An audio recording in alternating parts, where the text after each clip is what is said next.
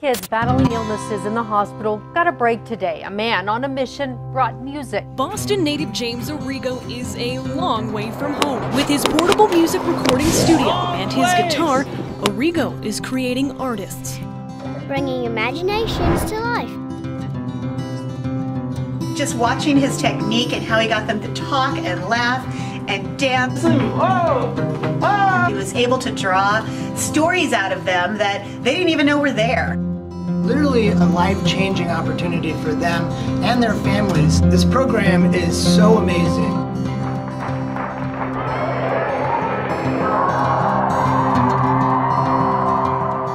Children's Cancer Research Fund is so excited to be sponsoring this tour because James brings this unique program to kids right where they are in the hospital, having to go through you know, the routine of chemotherapies and other treatments, he brings this sort of spark of joy into their lives in that space. You lost your mom a few years ago uh, to cancer, and you said, I want to be able to bring some smiles and bring some hope and create a legacy for kids. We, we come in with this box and the music, and we help them write their own personalized song, and then afterwards, they create their own cartoon music video for their song. So then these songs that they're creating become their fight song was able to come out of her shell and learn some ways to cope with what's going on.